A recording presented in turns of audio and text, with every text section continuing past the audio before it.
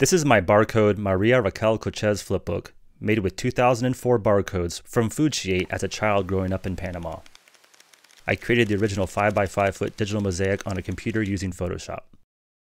The barcodes can be scanned with a smartphone and it will show more information about the product. On the flip side, I cataloged a selection of barcodes used for the portrait.